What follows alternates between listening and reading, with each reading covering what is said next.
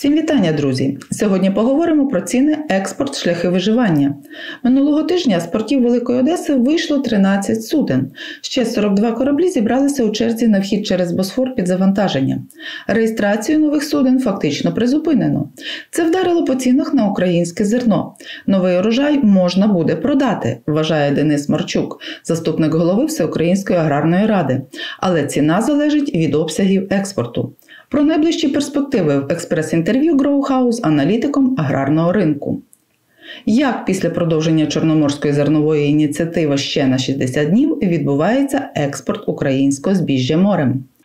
Ну, дуже повільно е, Росія продовжує діяти так, як і діяли. Тобто, де-факто е, ми маємо і де юре, точніше, де юре, ми маємо угоду, яка фактично функціонує в рамках підписаних договорів, але де-факто вона прогальмовується з боку Росії. Власне, тільки останнього тижня частково почалися відвантаження виходу кораблів з портів Великої Одеси. Росія продовжує стабільно е, робити все для того, щоб е, зернова ініціатива відбувалася якомога меншими темпами. Для нас це не не дуже добре, тому що е, ми маємо ще досить такі перехідні залишки. Так вони не такі великі, як, наприклад, минулого сезону коли ми мали через такий активний початок бойових дій, але тим не менше вони є. А це значить, що українські товаровиробники, які не мали можливості реалізувати, просто продовжують сидіти на своїй продукції, отже, недоотримувати кошти, і фактично зараз входити в жнива е, без фінансування буде дуже важко. Тому от в контексті таких умов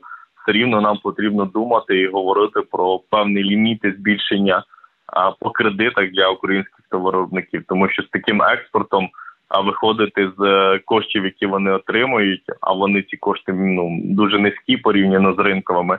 Ну скажімо так, формувати якесь майбутнє кампанії по збиранню і там на майбутню осінню посівну кампанію буде дуже важко. Які потреби в кредитних ресурсах для аграрної сфери? Ну, дивіться, якщо ми говоримо про е, середній бізнес, в принципі, програмну для малого і середнього бізнесу, в принципі, програми 5.7.9, вона є досить таки непоганою, особливо для малого там до там тисяча, дві тисячі гектарів землі, тому що в принципі ці ліміти в 90 мільйонів гривень. Е, вони є непоганими порівнюючи з тим, що там до того ставка там була не ставка, а ліміт був 60 мільйонів. Uh-huh. Але знову ж таки ціни зросли на всі елементи. Е, Фактично посівна здорожчала збиральна кампанія також буде дорожче. Відповідно, багато хто використав ці 90 мільйонів ще, скажімо так, попередні сезони, там чи осінню посівну кампанію, чи літні збиральні, тобто вони не можуть розширити. Тому дуже важливо було б ми говоримо зараз збільшити там 120, 150. Ми звичайно хотіли в два рази, тому що говориш там з середнім бізнесом, там має 3-4 тисячі гектарів. Він каже: ну мені ну каже, хоча в два рази збільшити, це було б ну, нормально. Ну і в принципі це було б для всіх вигідно, тому що е, держава, видавши кредити, е, поверне ці кредити з відсотками. Аграрій зуміє провести кампанії, там чи ну, які вже закінчили да, посівну, скоро збиральну кампанію, продати своє зерно, отримати кошти для свого функціонування, отримати валютну виручку для країни, плюс сплатити податки. Тому тут, якби ну скажімо так, мають бути всі зацікавлені, але поки що це питання скажімо пригальмувалося. Якими альтернативними шляхами нарощування експорту може рухатися Україна, оминаючи заблокований Росією зерновий коридор, щоб аграрії таки отримали зароблене? Ну це єдиний для нас коридор солідарності, який ми маємо розвивати, і звичайно знаходити можливості домовлятися з нашими партнерами в європейській зоні незважаючи на ті труднощі, які виникли із забороною імпорту до п'яти країн там чотирьох номенклатурів товарів, але по факту транзит зберігається і це потрібно розвивати. Але для того, щоб, скажімо так, в пік, коли ми зараз будемо входити в активну фазу збирального врожаю, де й наші східні партнери, ті сама та сама Румунія, Польща буде це робити, то нам звичайно варто було б думати, як наростити і показник по Дунаю до порту Рені, до румунських портів він показав себе досить ефективно буквально за травень місяць, зробив вже там майже 3 мільйона там перевалки. Тобто це говорить про цей потенціал. А як цей потенціал можна було б досягнути? ну це продовження а, углиблення а, течії бистра, тому що фактично, коли ми у 22-му році поглибили її, то це дало можливість заходженню значно більшої кількості кораблів. Були плани на 23-й рік це продовжити, але що поки що нічого не відбувається. Це дійсно ну, якби ми ну, скажімо, углибили це гирло бистро, то це б ну дало б ще більше можливості робити цю перевалку.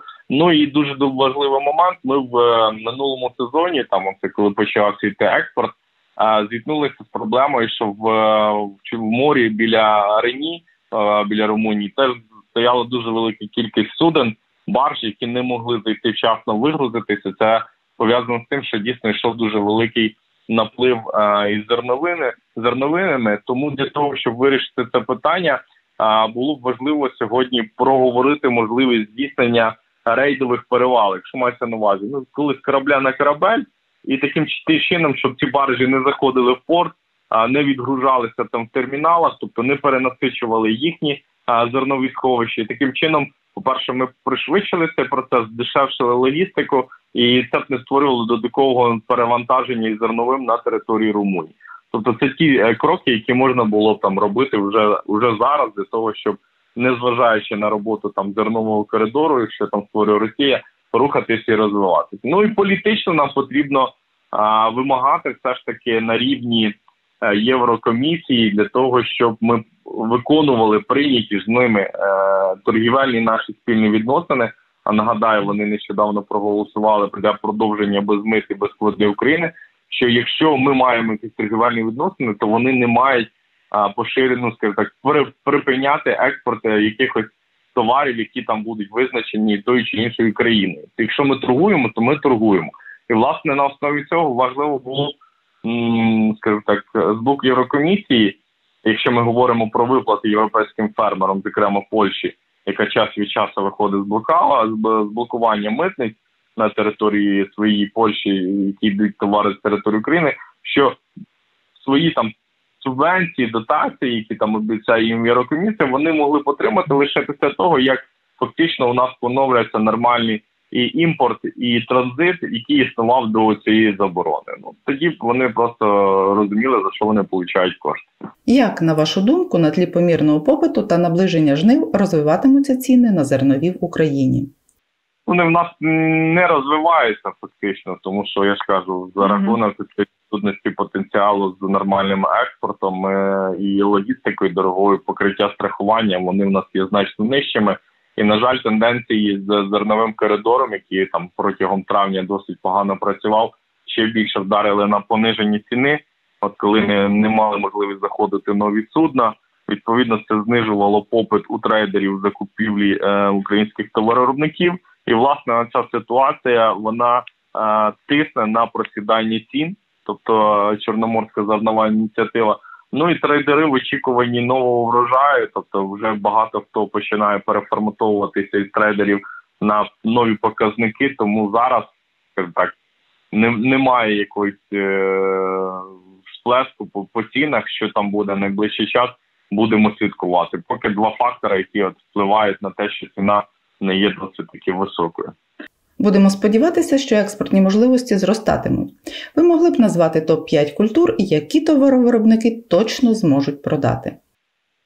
Кукуруза, пшениця, е, соняшник, ріпак.